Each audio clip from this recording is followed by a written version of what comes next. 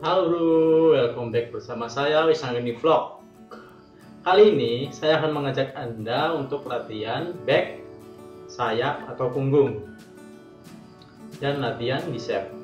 Ada tiga variasi latihan back, sayap atau punggung dan dua variasi latihan bicep. Ikutin ya.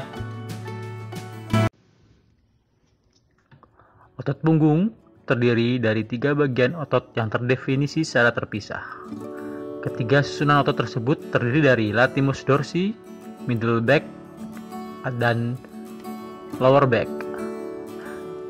Bila berbicara soal teknik latihan dari ketiga otot tersebut, tentunya masing-masing otot memiliki pola latihan yang berbeda-beda. So,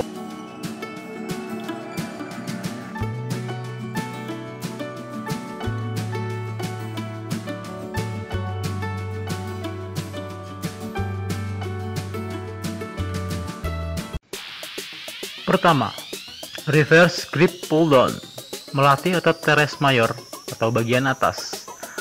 Pegang style pull down dengan posisi kedua tangan rapat dan kedua tangan menghadap ke dalam. Condongkan dada ke depan, tarik stang pull down dengan kekuatan penuh dan turunkan perlahan. Lakukan 3 set dengan 8 hingga 12 repetisi per set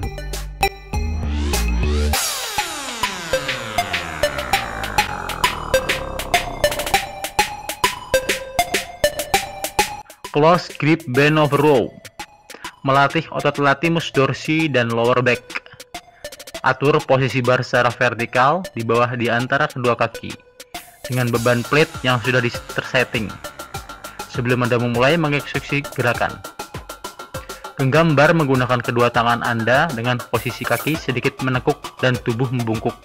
Namun tetap harus diingat bahwa sikap pinggang belakang Anda senantiasa terkunci ini adalah sikap awal Anda untuk mulai mengeksekusi gerakan.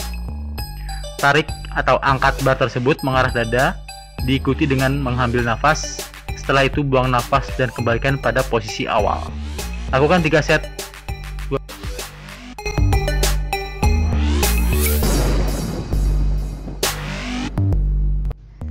Ketiga, deadlift.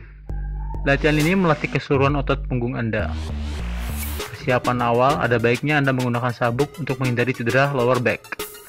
Memegang stick bisa dengan normal atau mic grip. Usahakan punggung tegak lurus. Tarik nafas saat posisi beban di bawah dan hembuskan nafas saat posisi beban di atas. Lakukan 3 set dengan 12 hingga 15 repetisi.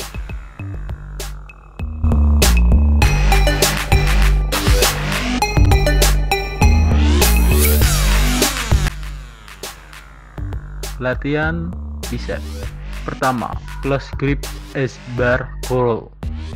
Usahakan badan tegak lurus, kaki bisa sejajar atau salah satunya maju ke depan guna menjaga keseimbangan Anda. Tarik nafas saat bar di bawah dan hembuskan saat bar di atas. Lakukan 3 set dengan 10 hingga 15 repetisi per setnya. 10 hingga 15 repetisi per setnya.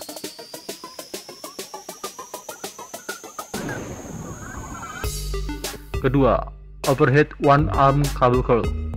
Melatih bicep dengan menggunakan cable curl. Hembuskan nafas saat kepalan tangan di atas.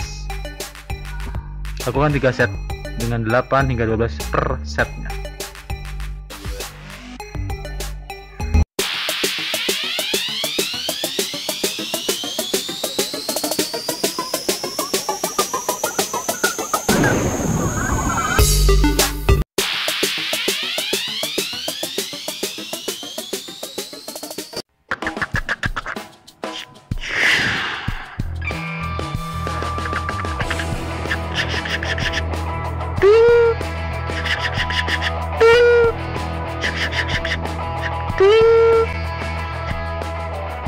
Terima kasih.